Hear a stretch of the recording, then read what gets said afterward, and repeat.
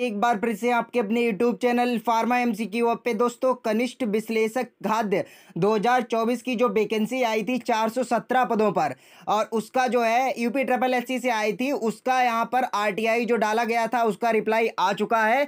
417 पोस्टें थी, कितने क्या फॉर्म यहाँ पर पड़े हैं, सारा सब कुछ हम लोग एक ही वीडियो में डिस्कस करेंगे और एक सीट पर आप लोगों का कितना कंपटीशन है और एग्ज़ाम कब तक हो सकता है, इन सभी जो है टॉपिक्स पर डिटेल में डिस्कस करेंगे। इस वीडियो में। तो चलिए फ्रेंड्स बिना किसी देरी के वीडियो को स्टार्ट करेंगे दोस्तों।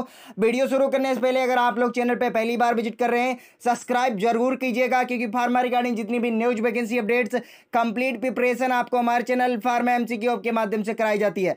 तो दोस्तों, जैसा कि आप लोग स्क्रीन पर देख पा रहे होंगे, मैंने आरटीआई को ओपन कर लिया है, मैं इसे थोड़ा और जूम कर देता हूँ। ये यहाँ पर आप लोग देख सकते हैं, आपने अपने ऑनलाइन रजिस्ट्रेशन हाँ ठीक है।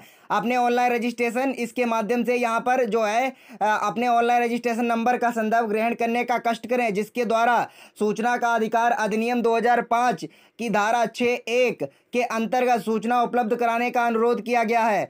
उक्त अनुरोध के क्रम में अवगत कराना है कि विज्ञापन संख्या चार, परीक्षा 2024 के अंतर्गत प्राप्त कुल आवेदनों की संख्या सैंतालीस है।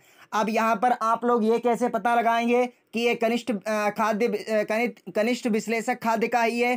क्योंकि यहाँ पर विज्ञापन संख्या जो दी है फ्रेंड, संख्या ज़ीरो चार, परीक्षा 2024 इसी के थ्रू जो है यूपी ट्रिपल एस से आप लोगों का विज्ञापन जारी हुआ था। ठीक है? तो भाई, देख सकते हैं आप लोग, यहाँ पर कितना कंपटीशन यहाँ पर है। सैंतालीस सौ छप्पन और ये आपके चार सौ सत्रह पोस्टें हैं। लगभग हमारे ख्याल से बारह लोग एक सीट पे जो है फाइट करेंगे। लगभग लगभग।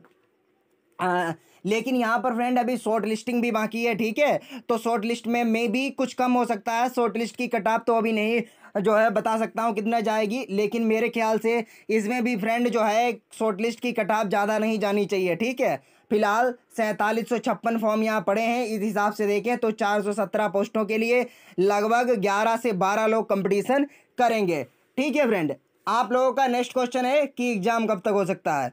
तो देखिए भाई एग्ज़ाम का ऐसा है एग्ज़ाम आप लोगों का एग्ज़ाम जो है, मैं आप लोगों को बता देता हूँ एग्ज़ाम आप लोगों का अभी थोड़ा डिले होगा, ठीक है? क्योंकि सबसे पहले 2022 वाली वैकेंसी जो है यूपी ट्रिपल एससी से जो आई हैं, उनका एग्ज़ाम कंप्लीट कराया जाएगा।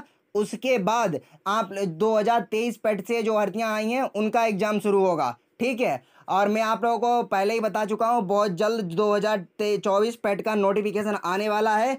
सब कुछ लेट होगा, लेकिन भाई ये पेट लेट नहीं होगा। इतना आप लोग ध्यान रखिए 2024 का नोटिफिकेशन बहुत जल्द आने वाला है तो उसे आप लोग जो है जिन कैंडिडेट ने अभी तक ये एग्ज़ाम नहीं दिया था और आगे भर्ती, किसी भी भर्ती का इंतज़ार कर रहा है यूपी ट्रिपल एस से तो वो अपना जो है ये एग्ज़ाम दे। ठीक है फ्रेंड बाकी यही कुछ अपडेट थी। तो जैसे ही ऑफिशियल अपडेट आती है भाई, सबसे पहले आप लोगों को प्रोवाइड कर दी जाती है चैनल के माध्यम से।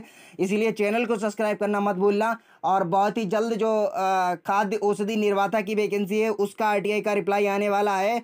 और उसके बाद जो है एलोपैथ फार्मासिस्ट का रिप्लाई आने वाला है, ठीक है? सॉरी फ्रेंड होम्योपैथ का। तो सारा सब कुछ मैं बता दूँगा। बस थोड़ा आप लोग जो है पेशेंस बना के रखिए।